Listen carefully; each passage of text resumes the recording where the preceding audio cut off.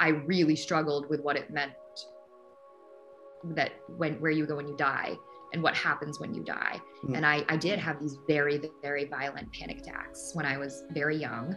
Um, and I remember I, I went, I refused to go to doctors for a while. And then I started going to doctors and um, on and on was kind of born from my like my attempt to come to terms with all those experiences and all those panic attacks I had as a little kid.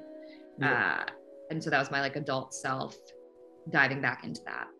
Um, and that's actually fun, funnily enough, I wouldn't call it a proof of concept, but that short is the opening of, of a feature that I'm trying to make right now. Um, so those, those that that idea of a young child or a teenager coming to terms with the existential concept of death and the abstract concept of death